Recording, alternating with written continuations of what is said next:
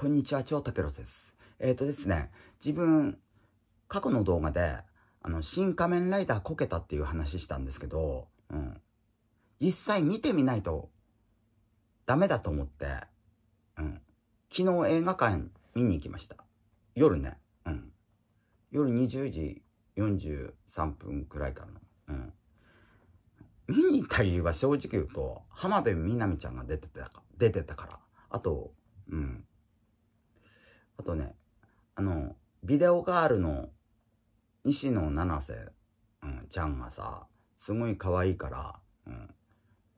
うん、それ目的で見に行ったっていうか、うん。これがパンフレット。うん。俺ね、この人最初、仮面ライダー2号だと思ってたのよ。間違った認識してさ、この人が主人公じゃないと思ってたのよ。うん。この人は本当、俺一文字隼人だと思ってたんだけど、うん。本郷武でした、うん。主人公でした。一応主人公。うん。もう一人も主人公なんだけど、い、うん。主人公は本郷武ね。うん。仮面ライダー1号。うん。俺間違ってたんだよ。うん。なんか、間違ってたんだよ。で、あの、入場特典として、仮面ライダーの色紙、うん、うん、色紙ね。俺これびっくりしてさ、え、こんなもの、こんなのもらえるのみたいなさ。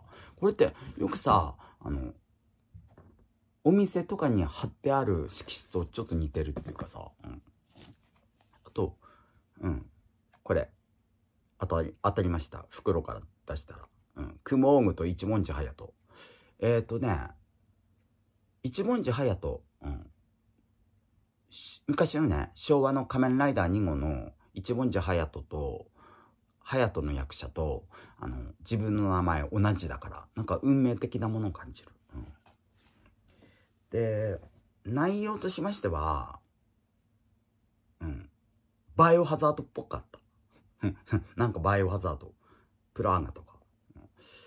なんかね、正直言うと、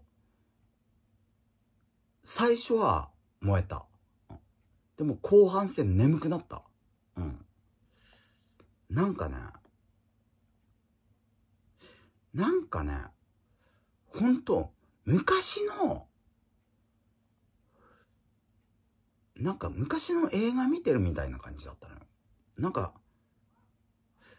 庵野監督は、わざとこう、昔ながらに昔ながらの仮面ライダーにしたいがために、こう演出とかが古くしたのかな。わざと、こう昭和の感じの、あの、演出をしたかったのかなってわかんないんですけど、なんか古臭いのよ。演出とか。なんか途中さ、浜辺美波ちゃんのさ、あの、いかにもさ、イメージビデオ撮ってるみたいでさ、プロモーションビデオっていうかさ、そんな感じのさ、な語り、語りがあったんだよ。浜辺美波の。うん、なんか、なんかさ、何これって。うん、ドキュメンタリーもの？うん。うん、とにかく、なんか古臭いのよ。うん。戦いとかもね、空中で戦うのよね。うん。それがさ、なんか、昔のドラゴンボールのサイヤ、教習サイヤ人みたいなさ、バトルなんだよ。は、あれは、明らかに教習サイヤ人じゃん、みたいなさ。うん。バトルが教習サイヤ人なんだっけ？ファミコンの。うん。なんか古いなとかって、銭湯が。うん。よく、周りも叩かれてますもんね。あの、結局。仮面ライダー、新仮面ライダーのダメなところは、あの、ストーリーもそうだけど、うん、戦闘シーンが古臭いっていうかさ、うん。うん。まあね、見てると、テンション上がるシーンはね、あの、仮面ライダーの過去の曲が流れるのがテンションがあるのよ。うん。それ、それくらいかな。ぶっちゃけね、そんなに新鮮じゃないっていうかさ、うん、それをごまかして、あの、わざとこう、仮面ライダーの曲を流してテンションを上げるみたいなさ、テン客のテンションを上げさせるみたいな、そんな感じなんだっけ？ストーリーはね、シリアスなんだけど、シリアスなんだけど、敵の怪人が、なんか、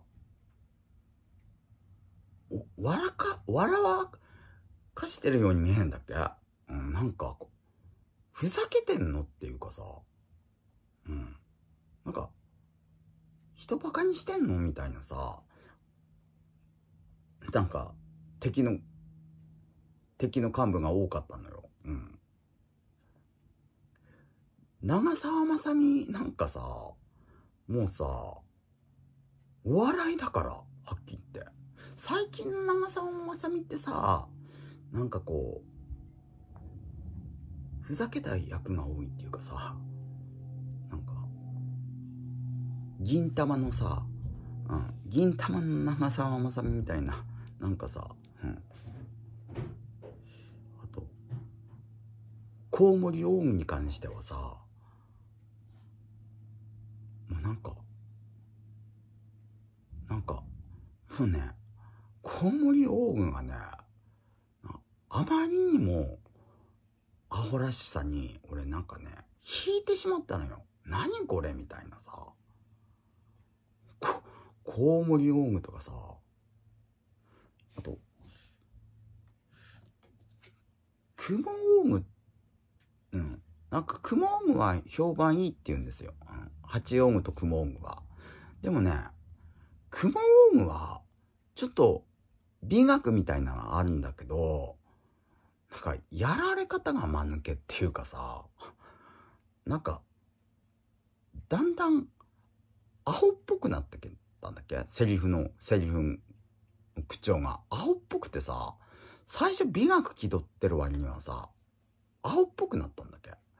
でも、クモーンが、うん、まあ、登場シーンはかっこいい。かっこよかった。すごいかっこよかった。八音もかっこよかった。西野七瀬さんの。うん。うん。それくらいかな。もう、後半戦に関してはほんともう眠くて眠くてさ、夜、夜見に行ったのもあるんだけど、ほんと眠くてさ、うん、正直早く終わんねえかな、みたいなさ。うん。あとさ、ヒロインが、最後、えってなんな。え？ヒロインなのに？みたいなさ、うん、うま、うまく言いませんけど、うん、なんかネタバレになるんで、うん。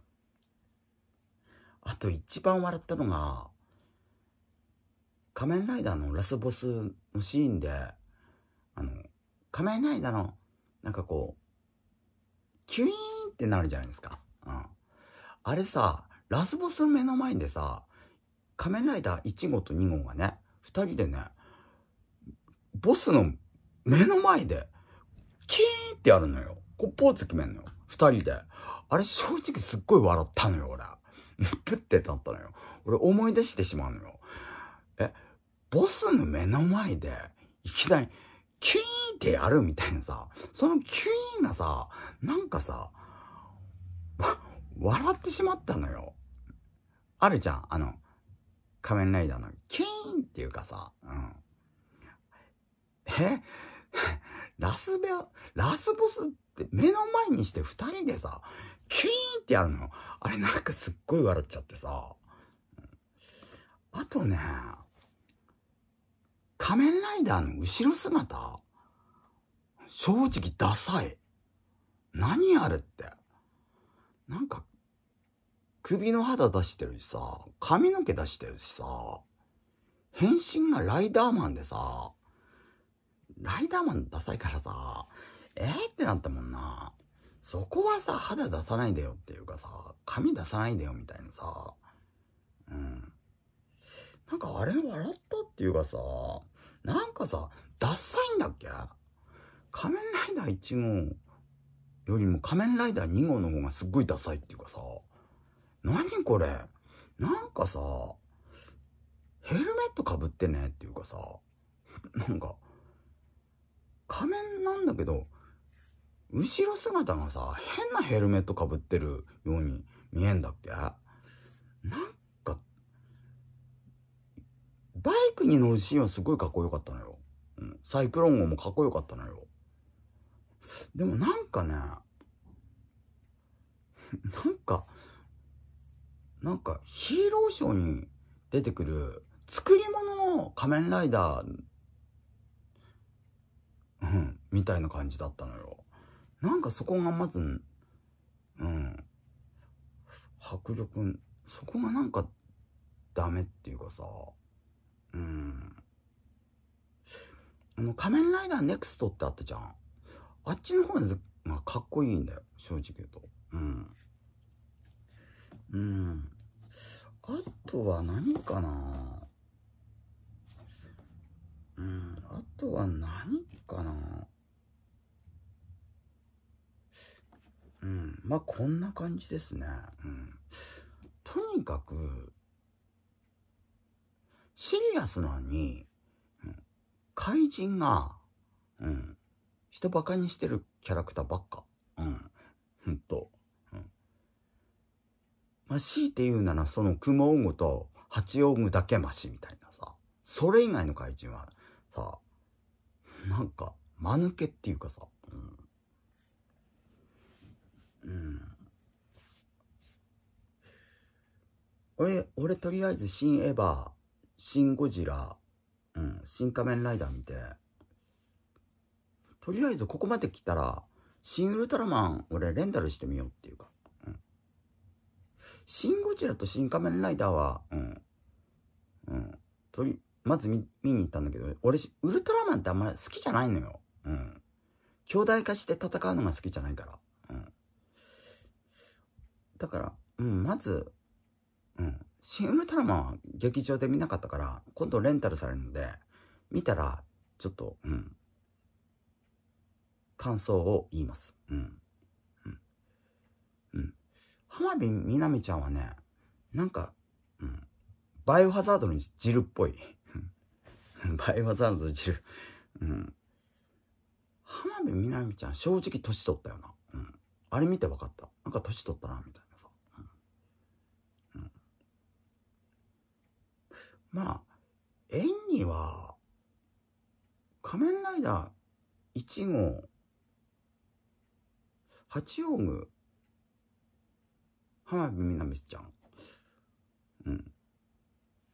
あのルリルリっていうやつ。ルリルリってなでしこのルリルリかよって浜辺美波ちゃんの役がルリコなんだけどルリルリってね八王具が言うんだっけ？なでしこの機動戦艦なでしこのルリルリを思い出した、うん、あっちは星野ルリなんだけど、うん、まあ正直仮面ライダー2号だけはさ、脳も、どうも棒読みみたいな感じでさ、うん。なんかそんな感じですね。うん。うん。うん。うん。ご視聴ありがとうございました。